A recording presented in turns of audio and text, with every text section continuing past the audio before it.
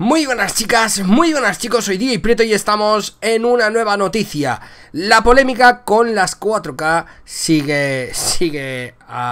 sigue en pie y sigue la orden del día, sobre todo con las consolas PlayStation, ¿no? sobre todo PlayStation 4 Pro Y es que atentos porque Tequila Works eh, en concreto ha sido José Herraez, quien se ha pronunciado sobre esta polémica sobre la presentación de PlayStation 4 Pro y el debate sobre el 4K nativo rescalado eh, que está a la orden del día. Y ha dicho que no se, no se diferenciará el 4K nativo al rescalado en la consola de Sony. Y es que cree que la diferencia entre los 4K nativos de Project Scorpio y los 4K rescalados de PlayStation 4 Pro no será apreciable para los no expertos. Para el jugador común no va a haber mucha diferencia, para los usuarios más técnicos y expertos sí que será algo que tendrá importancia. El debate, como ya sabéis, pues sigue sobre la mesa y muchos continúan pensando que Sony se ha precipitado al sacar su nueva consola, PlayStation 4 Pro,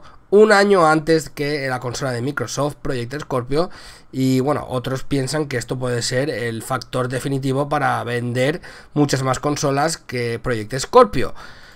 Opinad, muchísimas gracias a todos por estar ahí, como siempre informando la última, manita arriba, comparte la información y nos vemos en la siguiente, chao.